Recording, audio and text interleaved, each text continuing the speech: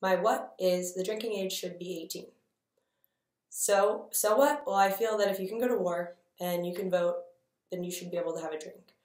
I think that society, our society's really only seen problems happen for underage drinking. People are only getting in trouble for underage drinking since the drinking age has been changed to 21. Um, now what? Well, I can't change the law, so I don't really know what I could do except, and I'm already 21, so it doesn't really matter to me anymore. But I think that society, if you already drink underage, you're going to keep doing it no matter what the law is. You might as well because maybe society will realize that the law should be changed.